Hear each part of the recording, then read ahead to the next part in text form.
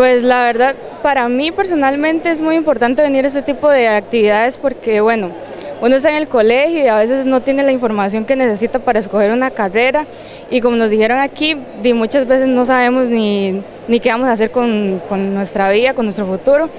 Entonces, venir a ese tipo de actividades nos ayuda a resolver muchas dudas. En su caso, ¿ya tiene definido más o menos qué quiere estudiar o todavía está como en esa balanza? Este, bueno, estoy entre dos carreras en realidad, pero la verdad es que me estoy lanzando por, el lado de medicina, que me llama un poquito más la atención, pero sin embargo venir a esto es como que me ayuda a reforzar más la decisión que voy a tomar. Hay muchas universidades y me ha gustado que, bueno, el encuentro está bastante bien, han dado mucha información, este tipo de guía siempre es muy importante para uno como estudiante de último año, para decidirse bien qué hacer en su futuro, ya que es una decisión muy importante para nuestras vidas, porque básicamente eso depende de nuestro futuro. ¿Y en su caso? ¿Ya tiene más o menos hacia qué va? En mi caso tengo ya decidido qué es lo que pienso estudiar y espero que sea la decisión correcta. Bueno, si podemos saber, tal vez. Eh, ingeniería mecatrónica en el TEC es mi primer objetivo. La verdad me pareció muy bonito porque nos explica muchas cosas y nos dan como muchas oportunidades de aprender y en el proceso ha sido bastante fácil en realidad porque hemos tenido mucho apoyo de la orientadora y de otras personas externas que nos ayudan mucho como a explorar nosotros mismos. En el caso de la profesión que quisiera estudiar, ¿ya la tienes definida o ahí está? Sí, ya, ya hace tiempillo.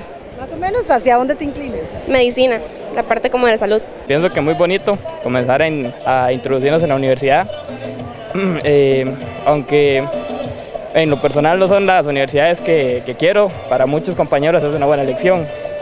Los que tal vez no quieran optar por una universidad pública pueden venir a ver carreras que les interesan. Bueno, en su caso ya tiene más o menos qué quiere ser, qué quiere estudiar. Mm, más o menos. Está un poco indeciso todavía. Sí, aún estoy en eso. Tengo que hacer el examen del TEC y los dos de la Nacional y la UCR. Ya después para tomar una decisión más, más ellos son cuatro de los estudiantes de último año de colegio quienes tienen que decidir qué carrera desean sacar. Por ello, la Asesoría de Orientación de la Dirección Regional de Educación de Pérez Celedón llevó a cabo el Encuentro Vocacional 2023, organizado durante el día y noche en el Polideportivo de San Isidro de El General, donde se tuvieron unos 25 centros de estudios superiores, tanto públicos como privados. La intención era atender alrededor de 3.000 estudiantes. La intención es reunir más o menos a 2.500 a 3.000 estudiantes. Eh, la jornada va a ser extensa, ¿verdad? Desde las 8 de la mañana que acabamos de arrancar hasta las 9 y 30 más o menos con la jornada nocturna, que ahí entran todo lo que son los colegios nocturnos y secciones nocturnas de los CTP de, profesionales entran todo lo que son colegios académicos, colegios técnicos y como decía usted, colegios nocturnos. Sí, exactamente, todas las modalidades educativas de último año de diversificada. Las secciones técnicas nocturnas también están ofreciendo acá este, todo lo que es su oferta académica para el próximo año, para aquellos estudiantes pues, que quieran optar por una educación técnica. Los orientadores de los diferentes centros educativos consideran muy valiosos estos tipos de encuentros. Este tipo de actividad es muy valiosa para que los estudiantes puedan clarificar y tener una toma de decisiones acertada de acuerdo a sus habilidades, sus destrezas, sus características.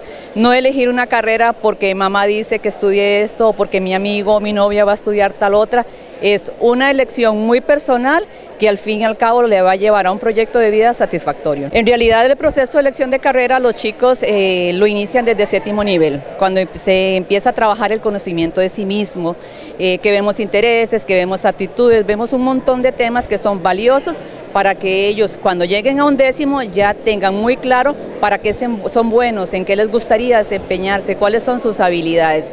En realidad este espacio es muy importante para que ellos terminen de clarificar, porque ya tienen que a la altura de un décimo nivel, todos estos años anteriores, venir clarificando qué les gustaría, dónde van a ir a estudiar, si la familia le puede apoyar, si optaría por una estatal o por una privada. O sea, son un montón de factores que ellos deben de tomar en cuenta a la hora de tomar la decisión que van a elegir en la universidad esos estudiantes se encuentran tomando decisiones para su futuro. Sí, es una etapa bastante de incertidumbre ¿verdad? Estar, yo recuerdo no hace mucho, ¿verdad? Que de repente uno no sabe qué hacer con su vida y tengo opciones educativas, pero también no tengo los recursos económicos. Y yo les comentaba a ellos en, ahorita temprano que precisamente los tres componentes de la orientación vocacional es autoconocimiento, todo lo que tiene que ver con mi persona, la autoeficacia, para qué soy bueno, qué, en qué no soy bueno y qué no me gusta, y el conocimiento del medio, que es precisamente lo que ellos están haciendo en este momento, conociendo sus opciones y lo más crucial que viene en ese proceso de orientación vocacional es la toma de decisiones. Mi recomendación es que si yo como estudiante todavía tengo dudas, tengo incertidumbre, que puedan canalizar todas las energías en esos tres componentes. ¿Qué me falta a mí de conocerme a mí mismo para saber en qué soy buena y en qué eh, eh, mm, creo que soy hábil, ¿verdad? Luego, el conocimiento del medio. ¿Tengo todo, todo claro de qué tengo opción o todavía me falta explorar más? Ahora tenemos la herramienta tecnológica que el Internet me permite a mí explorar todo lo que tengo, incluso hasta fuera del país si quiero. Entonces, reconocer que todo es posibilidad investigar, analizar si esto es factible para mí y después que viene la toma de decisiones que ya es donde tengo que contemplar incluso hasta el factor económico, eh, el factor familia, ¿verdad? De me apoyan o no me apoyan o voy a tomar una decisión este, eh, concreta o mejor lo postergo para más adelante que sea una decisión más, más, más real para mí. Este tipo de encuentros esperan organizarlos cada año.